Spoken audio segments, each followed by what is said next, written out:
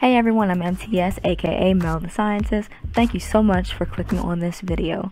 Today I'm going to be looking at wormholes explained. So before I start the video, I just thought I would read out the actual definition of a wormhole and what its purpose is.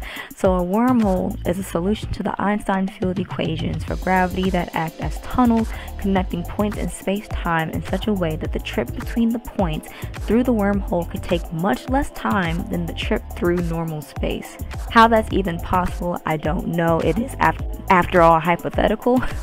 However, Kurzgesagt does always have quite entertaining and beautifully done videos and I just thought I should take a look anyway and see what they have to say and see if I understand it a little bit better. So without further ado, let's head into the video. If you saw a wormhole in reality, it would appear round, spherical, a bit like a black hole. Light from the other side passes through and gives you a window to a faraway place. Once crossed, the other side comes fully into view, with your old home now receding into that shimmering spherical window. But are wormholes real, or are they just magic disguised as physics and maths? if they are real, how do they work, and where can we find them?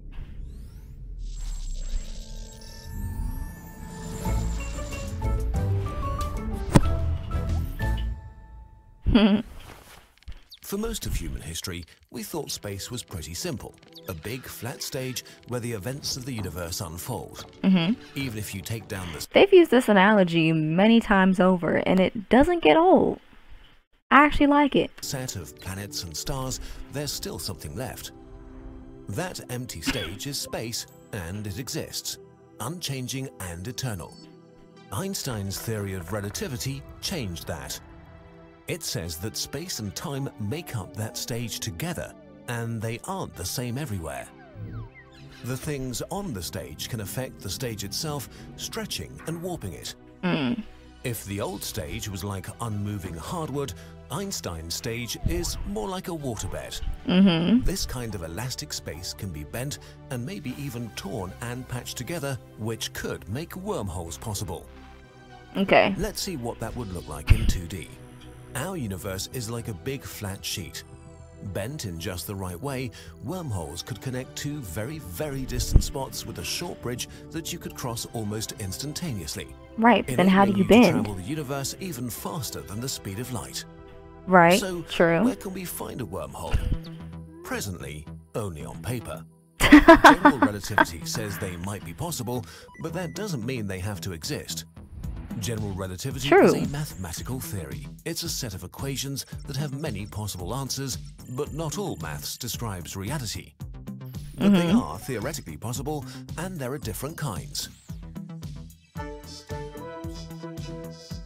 The first kind of wormholes to be theorized were Einstein-Rosen bridges. They describe every black hole as a sort of portal to an infinite parallel universe. Let's try to picture them in 2D again. Well, we know differently. Space-time is flat, but curved by objects on it. If we compress that object, space-time gets more curved around it. Eventually, space-time becomes so warped that it has no choice but to collapse into a black hole. A one-way barrier forms, the event horizon, which anything can enter, but nothing can escape. Right. Trapped forever at the singularity, singularity. at its core but maybe there is no singularity here. One possibility is that the other side of the event horizon looks a bit like our universe again, but mirrored upside down, where time runs backwards. In our universe, hmm. things fall into the black hole. In the parallel universe with backwards time, the mirror black hole is spewing things out a bit like a big bang. Right. This is called a white hole. Unfortunately, Einstein-Rosen bridges can't actually be crossed. It takes an infinite amount of time to cross over to the opposite universe, and they crimp shut in the middle. If you go into a black hole, you won't become the stuff coming out of the white hole. Nope. You'll only become dead. Yep. so, to travel the cosmos in the blink of an eye, humans need a different kind of wormhole, a traversable wormhole. Okay, might I say I love this design, the, like the synth music type.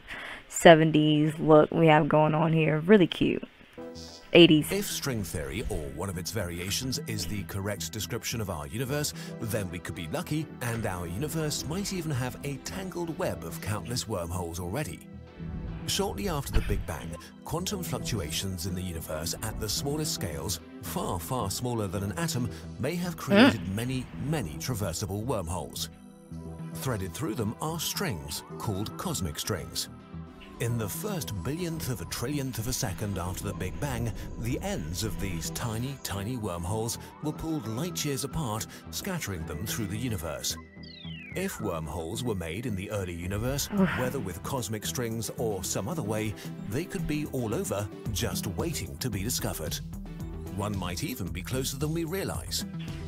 From the outside, black holes and wormholes can look very similar, leading some physicists to suggest the supermassive black holes in the center of galaxies are actually wormholes. I wouldn't it test would it though. hard to go all the way to the center of the Milky Way to find out though, but that's okay. There might be an equally extremely hard way to get our hands on a wormhole. We could try to make one. Okay. Love to see that. To be traversable and useful, there are a few properties we want a wormhole to have. First, it must obviously connect two distant parts of space-time. Right. Like your bedroom and the bathroom. Right. Or Earth and Jupiter. Right. Second, it should not contain any event horizons which would block two-way travel. Third, it should be sufficiently sized so that the gravitational forces don't kill human travelers. The biggest problem we have to solve is keeping our wormholes open. Yes. No matter how we make wormholes, gravity tries to close them. Gravity wants to pinch it closed and cut the bridge, leaving only black holes at the ends. Whether it's a traversable wormhole with both ends in ours, or a wormhole to another universe, it will try to close unless we have something propping it open. Right. For very old string theory wormholes, that's the cosmic strings job. For man-made wormholes, we need a new ingredient. Exotic matter. Uh? This isn't anything like we find on Earth, or even antimatter. It's something totally new and different and exciting, with crazy properties right. like nothing that's ever been seen before. Exotic matter is stuff that has negative mass, Positive mass, like people and planets and everything else in the universe, negative is mass. attractive because of gravity. But negative mass would be repulsive. It would push you away. This makes a kind of anti-gravity that props open our wormholes. And exotic matter must exert enormous pressure to push space-time open, greater even than the pressure at the centers of neutron stars. With exotic matter, we could weave space-time however we see fit, we may even have a candidate for this exotic matter, the vacuum of space itself. Quantum fluctuations in empty space are constantly creating pairs of particles and antiparticles, only for them to be annihilated an instant later. Uh-huh. The vacuum of space is boiling with them, and we can already manipulate them to produce an effect similar to the negative mass we're looking for. What? We could use this to stabilize our wormholes. Once we're keeping it open, the ends would start together, so we'd have to move them around to interesting places. We could start by wiring the solar system, leaving one end of each wormhole in orbit around the Earth. We could fling others into deep space. The Earth could be a wormhole hub for a vast interstellar human civilization spread over light years, but only a wormhole away. However, wormholes have a dark side, even opening a single wormhole kind of breaks the universe in fundamental ways, mm, yeah, definitely. creating time travel paradoxes and violating the causal structure of the universe. Definitely. Many scientists think that this not only means they should be impossible to make, because technically you are time traveling, but that it's impossible for them to exist at all. So for now, we only know that wormholes exist in our hearts and on paper. exist in our hearts. we know you want to know more about universe stuff. Negative matter. A, a type of exotic matter whose mass is of opposite sign to the mass of normal. Well, duh. Such such matter would violate one or more energy conditions and show some strange properties such as the oppositely oriented acceleration for negative mass, It is used in certain speculative hypothetical technologies such as time travel to the past and future. Uh, and artificial wormholes, which may also allow for time travel, like I said. Can there be negative matter is the question. In the everyday world, when an object is pushed, it accelerates in the same direction as the force applied to it. This relationship is described by Isaac Newton's second law of motion, but in theory, matter can have negative mass in the same sense that an electric charge can be positive or negative. I mean, I mean, look, I'm biology pre-medicine. I'm not, and I am not a physicist. I do not study any of these theories, so disclaimer on that. these, these are my initial reactions. Negative matter could exist somewhere in the universe. Modern theories of matter and energy do not forbid its existence, but if negative matter were to exist, its behavior would be very strange. But just, it's right, how strange would it be? Detailed analyses according to the known laws of physics show that the gravitational field of an object made of negative matter would cause all other objects, including those made of negative matter, to move away from it while the gravitational field of an object made of positive matter will cause all other objects, including those made of negative matter, to move towards it. Hmm.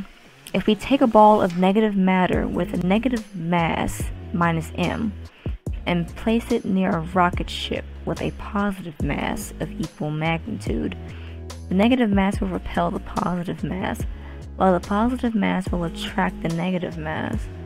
How is the negative mass going to repel the positive, yet the positive attract the negative?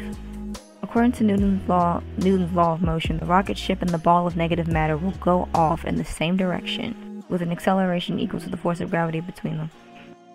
A negative mass object repels a positive mass space vehicle, which attracts the negative object, so they move off together this topic highly interests me because I'm I'm someone who's really going to try and and clear up my confusion by any means. So, I mean, this is my first time in hearing of negative matter. And it's it's taking me on a, a mental trip right now. which I guess is natural for the first time being introduced to it. But I'm obviously going to be doing more research on this. It's nighttime and my brain does not feel like working as well as it could.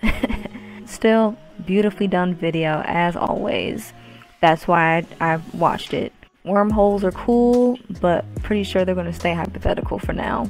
Also, I don't even want to imagine humanity being able to utilize wormholes. That's just going to be. Either way, I had fun.